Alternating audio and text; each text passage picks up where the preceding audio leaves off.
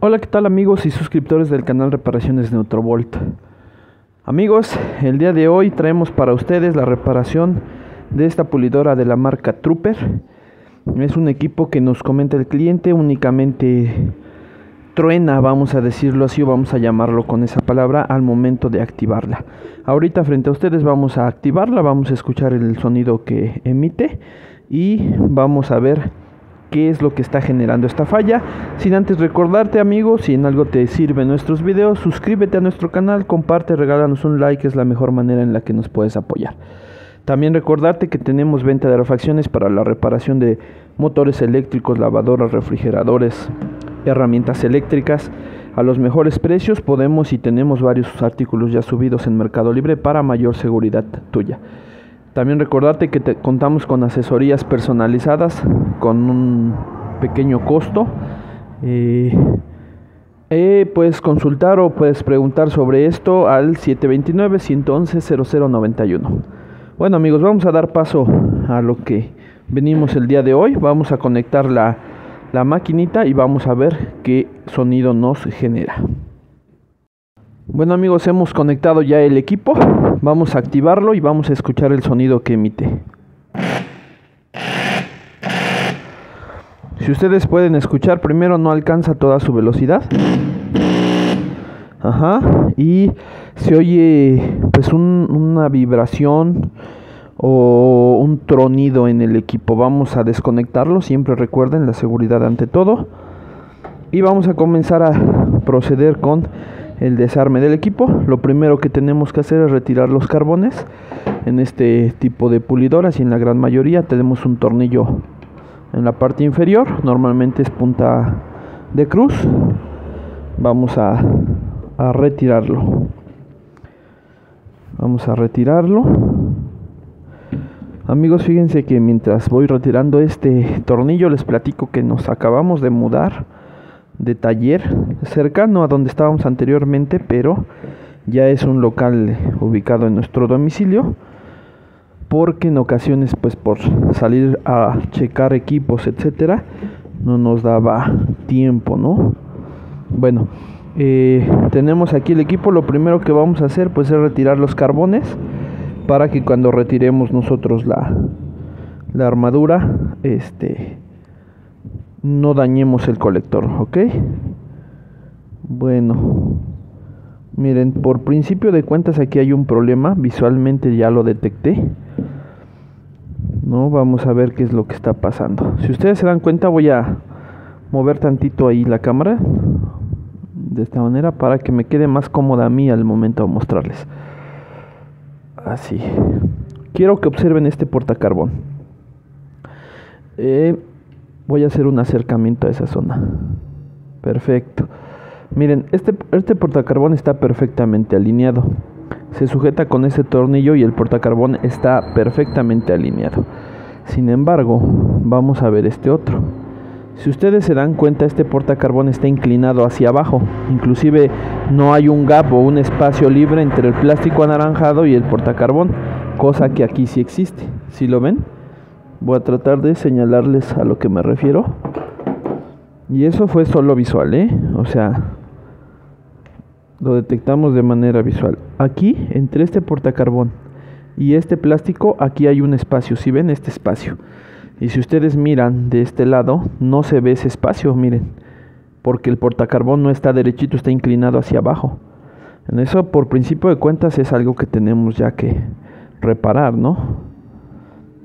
Eh, bueno, vamos a hacer lo siguiente. Lo siguiente es para retirar los carbones. Recuerden que tenemos aquí este un resortito. Ahí mero. Bueno, tenemos este resorte. Este resorte es el encargado de mantener el carbón haciendo presión en el colector. Y para que salga, pues tenemos que retirar ese resortito. Voy a hacerlo Está un poco incómodo amigos por esto, pero miren, metemos el desarmador y sale tranquilamente, lo recargamos de este lado, así, y entonces el portacarbón ya sale sin mayor problema. Perdón, el carbón. Aquí estoy viendo también otro detalle, que este carbón no es de la medida, amigos, miren, baila demasiado, demasiado, ¿no? Bueno, Todos estos detalles, bueno, te los va dando el tiempo, la experiencia, el día a día. Vamos a hacer lo propio de este lado. De igual manera vamos a, a retirar el, el, resortito de esta manera. Y de igual manera lo recargamos de este lado de acá. Así. Ahí lo recargamos y entonces puede salir ya nuestro portacarbón, nuestro carbón. Aquí lo, lo vamos a retirar. Ya se volvió a meter. Está un poco incómodo aquí porque tengo que estar este cruzando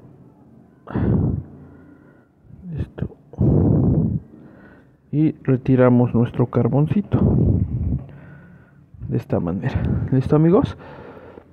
Bueno, entonces ahora sí, ya he hecho esto, entonces ahora sí podemos ya destapar la, la máquina retirando estos, estos tornillos de aquí, que también son de cruz, son cuatro, uno, dos, tres y cuatro, para poder sacar todo el componente entero, ¿ok?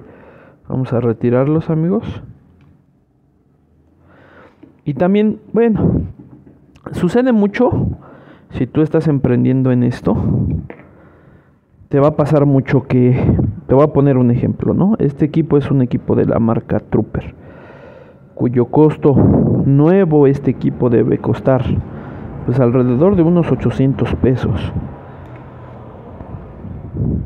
Y las reparaciones nos cuestan lo mismo como reparadores, nos, nos lleva el mismo tiempo, el mismo trabajo reparar un equipo de esta marca que cuesta nuevo 800 pesos que un equipo de otra marca como D-Walk o como Makita o Bosch que cuestan tranquilamente el doble de precio. Y entonces ahí radica una situación. ¿Le conviene al cliente cuando la reparación rebasa los 250 pesos? ¿Le conviene repararlo? ¿No? ¿Cuánto podemos cobrar por estos equipos? ¿Cuánto podemos cobrar nosotros por estos equipos?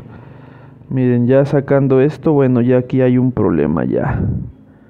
Pues ya un problema difícil, por así decirlo. Ay, perdonen, no, no estoy enfocando la cámara. Miren, voy a tratar de que ustedes lo vean y lo logren detectar. Aquí, perfecto. Si ustedes se dan cuenta, amigos, aquí en esta sección, pues ya ya se levantó nuestro aislante y aquí ya hubo golpeteo, miren, aquí. Ya hubo un roce entre estator y armadura. Aquí. ¿Sí? Este este elemento pues ya está dañado. Quizá no esté en corto, hay que revisarlo. Pero pues sí ya hay un daño, ¿no? Un daño. Ok. Y eso pues nos indica que ya hubo roce, que ya hubo roce. Miren, aquí también ya, se, ya estaba comenzando o a rozar o... Aquí, miren, aquí se ve perfectamente que hay un roce. Si lo ven? Este caballete está ligeramente afuera y alcanzó a rozar aquí. Ok, bueno detallitos que vamos a ir viendo conforme vamos desarmando. Retiramos este cubre polvo, nada más sale así a presión. Y bueno, vamos a observar la parte interna, la parte interna de, de nuestro equipo. Mm. No se va a ver muy claramente quizá, que no hay mucha mucha iluminación. Bueno amigos, regresamos. Llegó un cliente y bueno, tuvimos que atender, hacer una interrupción. Bueno, este... Espero que se logre detectar algo adentro. La verdad es que ya el equipo está sumamente dañado. Miren, los campos, que son estos que se ven aquí, ya están muy, muy calentados. Muy calentados ya el alambre, inclusive ya se ve derretido el aislante. Entonces, vamos a revisar. Deben de tener continuidad, definitivamente. Pero bueno, eh, ¿por, qué? ¿por qué deben de tener continuidad? Pues porque el equipo intenta aprender, ¿no? Sin embargo, no precisamente quiere decir que estén en buenas condiciones. Vamos a ver qué nos marcan los campos. Vamos a revisarlos. Una pregunta, por cierto, que me han hecho mucho en el canal. Oye, podemos hacer un video de cómo revisar los campos, porque aunque pareciera muy sencillo, amigos, a veces sí es un poquito confuso. Por ejemplo, cuando tú ves unos campos así, dices, pues ya están dañados, ¿no? O a lo mejor todavía como tal no están en corto y quemados, pero pues ya no les falta mucho. Los vas a trabajar un rato y se van a quemar. Pero a veces vemos, o cuando vemos unos campos ya totalmente negros, pues evidentemente ya están quemados. Pero a veces nos pasa que tenemos campos que en apariencia se ven bien, el alambre se ve perfectamente, pero ya están dañados. ¿Cómo sabemos que ya están dañados? Bueno, vamos a aprovechar este equipo para hacer esa prueba y por ahí respondiendo también a la petición de varios, varios suscriptores, ¿no? Tres cosas que se le deben revisar a los campos. Uno, continuidad. Que las bobinas tengan continuidad. Que no esté cortado un alambre. Dos, que no estén aterrizados, es decir, que tomamos una de las puntas de salida y que no esté aterrizado. Aterrizado es que ya esté en corto con el paquete de laminaciones que está acá adentro. Que ya uno de estos alambres se haya pelado y ya esté tocando al acero. Eso es que esté aterrizado o corto a masa. Y tres, que no estén en corto las bobinas. Que dos alambres entre sí ya estén pelados y estén chocando entre sí. Esas tres cosas son las que hay que revisarle a los campos. Vamos a iniciar con la primera. Recuerden, bueno, eh, vamos a hacer, tenemos por ahí también un video de cómo embobinar campos. Pero bueno, de cada campo evidentemente salen dos puntas, una entrada, una salida, entrada y salida, ¿no? Pero salen por la parte de abajo. Bueno, normalmente unas de estas puntas van a alimentación, es decir, son estas, esta es una punta de uno de los campos y esta es la otra. Este es el switch del interruptor de alimentación. Ahí llegan estos cables de alimentación y únicamente este permite el paso hacia estos o lo corta, ¿no? Entonces dos, dos, una punta de cada campo va a alimentación y la otra punta va al portacarbón. Entonces aquí nos vamos a ayudar del multímetro, recuerden, famosísimo multímetro, lo ponemos en medición de continuidad, el modo de la campanita, para que al momento de que tengamos continuidad, es decir esto, se escuche ese sonidito. Y bueno, adicional la pantalla nos indica que tenemos continuidad, ¿no? Pero de verdad que el sonidito pues te, te ahorra a veces ni volteas a ver la pantalla porque en este caso sí lo vamos a tener que hacer. Bueno, vamos a ver. Entonces, una de las puntas va a portacarbón y otra al, a alimentación. Tomamos el multímetro, ponemos una en el portacarbón, va conectado por medio de este cable tocamos el portacarbón y la otra punta la toca, tocamos la alimentación. Debe ser una de estas dos cual no estoy seguro pero intentamos con esta. No nos da nada pero entonces con esta. Ahí está. Si ven la pantalla nos empieza a marcar. Tenemos que checar esto nos indica que no está cortado ningún cable que tenemos flujo eléctrico que ningún cable está degollado y vamos a esperar, mi multímetro tarda un poquito en darnos una lectura pues confiable. Esperamos un poquito y miren ahí nos está dando 0.9 y 1, entre 0.9 y 1. También tenemos que ver que la resistencia de ambas bobinas sea igual o muy similar, porque si no también ahí puede haber un problema. Entonces esta bobina está entre 0.9 y 1 y no está cortada. Entonces nos queda este lado con este lado de acá Ajá. Ahí de igual manera no está cortada porque nos emite el sonido y la pantalla nos marca. Le vamos a dar un tiempo para ver qué lectura nos da. Ajá, ahí tenemos aproximadamente. Miren. Ahí está 1 1 1.1 0.9 igual 0.9 a 1. Entonces quiere decir que la resistencia de ambas bobinas está bien y no está abierta. Posteriormente tomamos uno de los dos, podemos tomar, puedes tocar la que sea, ¿no? Ya sea el portacarbón o la alimentación, yo voy a tocar el portacarbón y la otra la vamos a tocar el paquete de laminaciones, el acero, para ver que no esté aterrizado. No nos emite ningún sonido, no nos marca nada la pantalla, entonces está bien. Hacemos lo mismo con la otra, del otro lado, no está aterrizado. Perfecto. Ahora, ¿cómo checamos? Ya llevamos dos pruebas, ¿sí amigos? O tres, con, si juntamos la de la lectura de la resistencia, ¿no? ¿Cómo checamos ahora nosotros que no estén en corto estos dos? Que no haya corto entre bobinas. Bueno, lo que vamos a hacer, esto casi nadie lo dice amigos, porque a veces somos un poquito de guardarnos las cosas para que solo nosotros sepamos llevarlo a cabo. Pero bueno, en este canal no es así. Si tú están de acuerdo que internamente cuando dos cables están chocando es lo mismo que estos dos tocándose entre sí. Es un cortocircuito lo que estamos generando aquí. Bueno, vamos a ver, cada multímetro depende de su capacidad, de su resolución, pues nos puede dar diferentes lecturas. Toma tu multímetro y choca tus puntas y espera, bueno, depende, ¿no? El mío la verdad es que es un poquito lento, entonces lo voy a dejar ahí y vamos a ver qué lectura nos da. Ajá, miren, por ejemplo, ahí nos está dando 0.5, 0.3, entre 0.4 aproximadamente, 0.4, 0.5. Eso es un cortocircuito. Esa es la lectura que nos va a dar un multímetro o este multímetro con cortocircuito.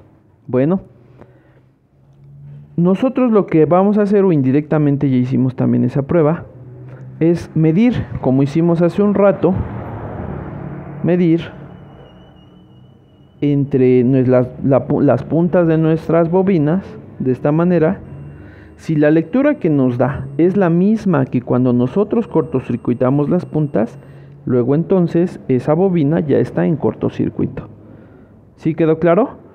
Ahí les dejo ese regalo amigos porque pocos se los dicen. Ya lo hicimos, no está en cortocircuito, entonces aquí tenemos un problema, quizá ya por el exceso de calor este se enchuecó, se fue para abajo. Vamos a checar ahora esta armadura, porque no es un valero, aunque, aunque ya hubo un arrastre, ¿no? Quizá por la gomita que tenemos ahí, quizá por el choque con el portacarbón. Ajá. Miren, este valero no está dañado. El de arriba aparentemente tampoco está dañado porque gira bien. Vamos a checar este. En este tenemos que checar la continuidad en el colector. Es decir, esta se llama, este se llama colector. Estas, cada una de estas se llaman delgas. Delgas. Deben tener continuidad entre sí todas las delgas porque estas vienen conectadas aquí del embobinado y todo está conectado en sí, entre sí. Entonces cada delga nos debe dar continuidad. Todas las delgas nos deben dar continuidad. De esta manera. Tocas aquí, tocas aquí.